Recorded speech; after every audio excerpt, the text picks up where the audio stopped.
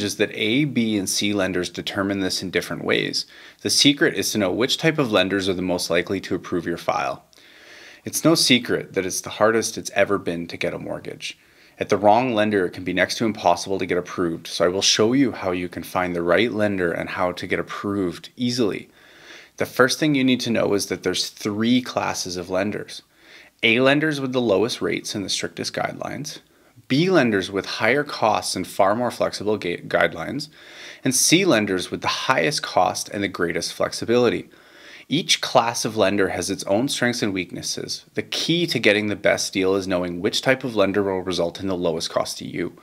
Quite often, the solution with the lowest cost to you doesn't have the lowest rate. A lenders consist of banks, credit unions, and monoline lenders. Where there are some differences is in how they operate. They all have the lowest rates and strictest guidelines, though. A lenders solve the are you a safe investment question by making sure there's enough income to pay for your debts and still be able to live your life. This is called debt servicing. Banks offer competitive rates and a wide range of products. Working with the right bank is key as each bank has a unique set of products and policies. Your mortgage may be a guaranteed decline at four of the major banks in Canada, but a slam dunk at the fifth. The trick is knowing which bank to present or to approach and how to present your file. Next is monoline lenders. They're often owned or funded by the major banks. They specialize in extremely low cost rates for CMHC insured mortgage purchases and renewals. These lenders tend to have some of the lowest breakage penalties as a bit of a bonus, the trade off with monoline lenders is that they generally follow the CMHC guidelines and are some of the strictest lenders in Canada when it comes to the income qualifying rules. Banks and monolines are very rigid in their lending because they must follow rules set by the Office of Superintendent of Financial Institutions, also known as OSFI. OSFI regulates the banks and monolines, but credit unions do not need to follow these OSFI guidelines. But the credit unions may have to follow rules by a local regulator. An example of this is using a mortgage and needing to qualify at a 2% higher rate, also known as the stress test.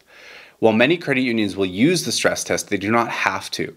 This means if you know where to look and how to ask, you can have the stress test waived.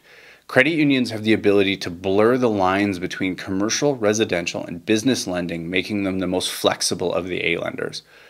Overall, A lenders have the most competitive interest rates, but they're restricted to qualify applicants using tax returns. Many A lenders will not look at more complex sources of income, and they require self employed borrowers to pay themselves a higher income and have a higher tax bill.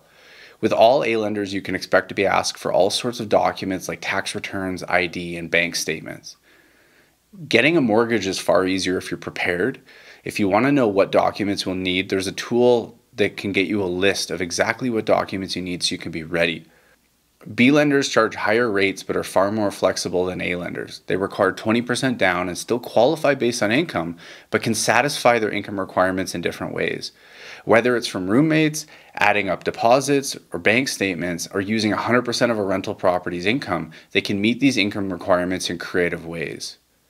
The drawback to B lenders is they often require large amounts of paperwork to verify the incomes they use. B lenders manage risk by vetting the borrower and screening the property.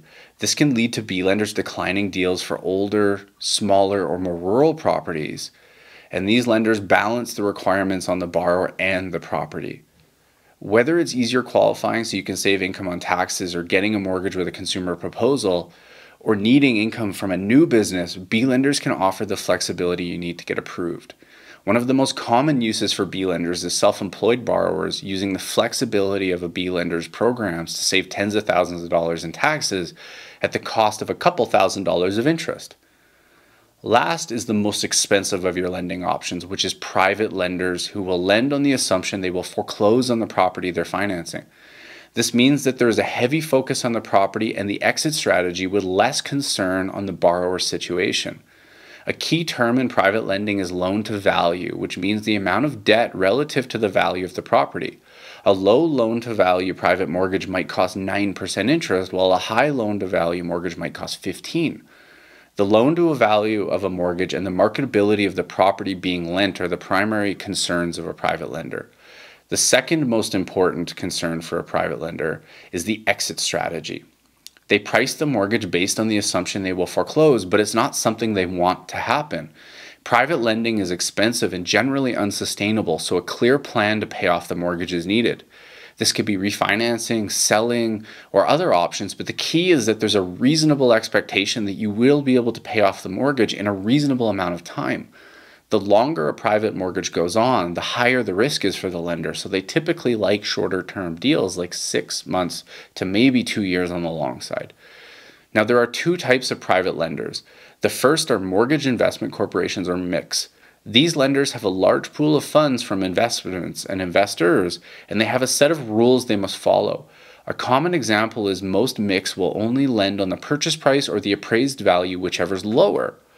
But a common request is for a lender to lend on the market value of a property when it is higher than the purchase price.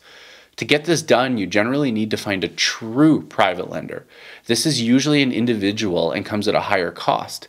The biggest drawback to true private lenders is consistency and reliability.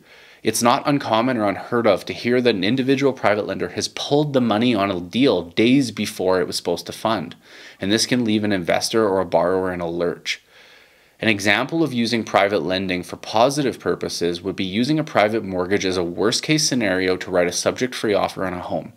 If this allows you to buy the property for forty or fifty thousand dollars less, and the private mortgage will only cost you ten or fifteen thousand dollars of interest, this can be a huge benefit for you. The goal is to allow you to write an offer on the property with the private lender as a worst case, but with the most likely scenario being using an A lender to close on the property.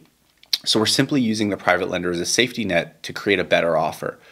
It's critical though that you ensure to do your proper due diligence and make sure that you do not cut corners because if you do write a private if you do use a private lender to write a subject free offer, once your offer is accepted, you're bound to buying that property. So you need to make sure you do your due diligence correctly.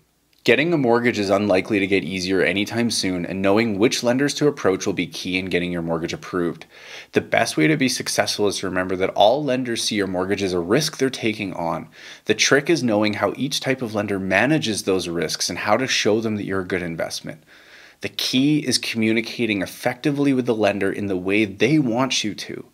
So, with A lenders, it's showing them good credit and good income in the way they recognize it. With B lenders, it's showing good character, reasonable income, and a reasonable property. And with private lenders, it's showing them a good property with a strong exit strategy. If you have any questions or need any help, let us know.